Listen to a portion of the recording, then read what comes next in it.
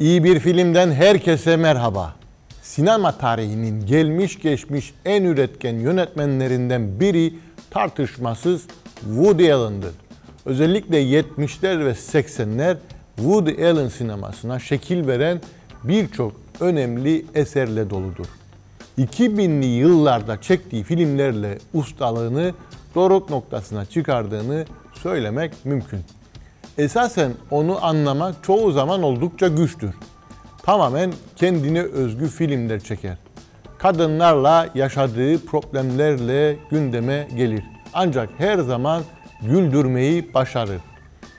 Bir film başlar başlamaz kendini cazın eşsiz tınısına bırakıyorsa ve sımsıcak sinematografisiyle izleyenlerine merhaba diyorsa o film büyük ihtimalle Woody Allen filmidir. İşte size Woody Allen'dan mutlaka izlemeniz gereken 6 film. Bana göre izlenmesi gereken ilk film 1987 yapımı dramatik komedi türündeki Radio Days'tir. Film Woody Allen'ın radyonun altın günlerine nostaljik bir bakışı, bir övgüsüdür.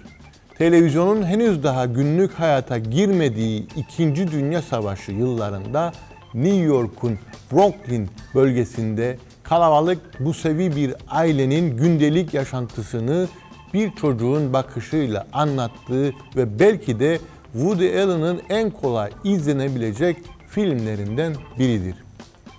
Sizlere önereceğim ikinci film 1977 yapımı Annie Hall. Woody Allen'ın kendi hayatından izler taşıyan Annie Hall, usta yönetmenin New York'a olan hayranlığını ve kadınlara karşı olan zaafını tescillediği film olarak da bilinir. Tabii ki Annie Hall yalnızca bununla sınırlı kalmaz. Durdurak bilmeyen temposu ve entelektüel diyaloglarıyla romantik komedi sınıfına yeni bir soluk getirdiği belirgin olarak fark edilebilir. Woody Allen'ın başrolü dönemin en güzel kadınlarından ve ilk eşi Diana Keaton ile paylaştığı film zeka dolu anlatısıyla sinema tarihinde eşsiz bir yere sahiptir. Üçüncü sırada belki de onun en romantik filmlerinden biri olan 1979 yapımı Manhattan.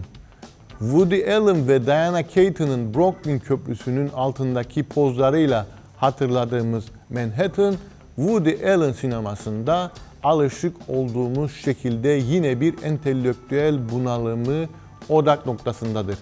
Ünlü yazar Isaac Davis'in Manhattan'ı anlatacağı kitaba hazırlanma süreci tabii ki birçok dış etmeni de beraberinde getirir.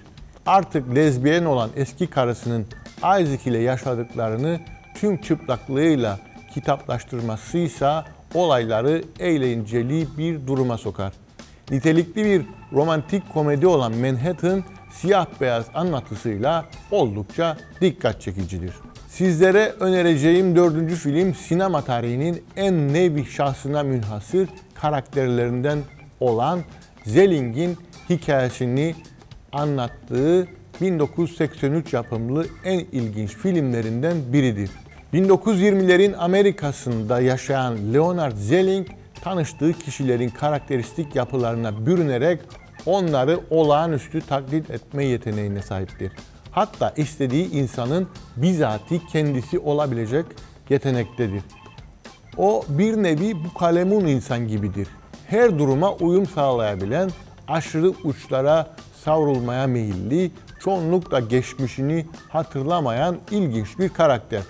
Woody Allen'ın sahte haber görüntüleriyle birlikte belgesel tadında anlattığı Zelling, farklı anlatımına ve tüm karamsarlığına rağmen güldürmeyi başardığı ilginç bir film. Beşinci film Harry Block isimli ünlü yazarın ilham arayışına eğilen 1997 yapımı Deconstructing Harry, Yaramaz Harry. Woody Allen sinemasının en eğlenceli filmlerinin başında yer alır.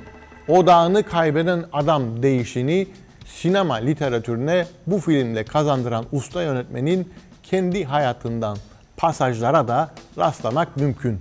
Harry'nin eski eşleri, sevgilileri ve daha niceleriyle yaşadığı iletişimsizliklere şahitlik ettiğimiz film hunharca gülmek isteyenlere özellikle tavsiye edilir. Ve sıradaki son filmimiz 2005 yapımı Match Point.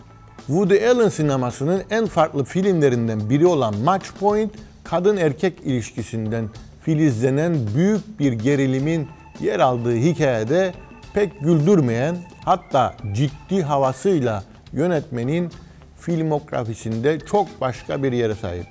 Aşk mı yoksa servet mi ikilemini başından sonuna dek hissettiren film Woody Allen'ın tamamını Amerika dışında çektiği ilk film olma özelliğine sahip. Başrollerini Reese Myers, Scarlett Johansson, Emily Mortimer'in paylaştığı Match Point şans temasına ilginç bir yaklaşım getiriyor. Evet bugün sizlere Woody Allen sinemasından beğenebileceğiniz, onu tanıyıp sevebileceğiniz 6 filmden bahsetmeye çalıştım. Yeni filmlerle görüşmek dileğiyle. Esen kalın, iyi bir filmle kalın.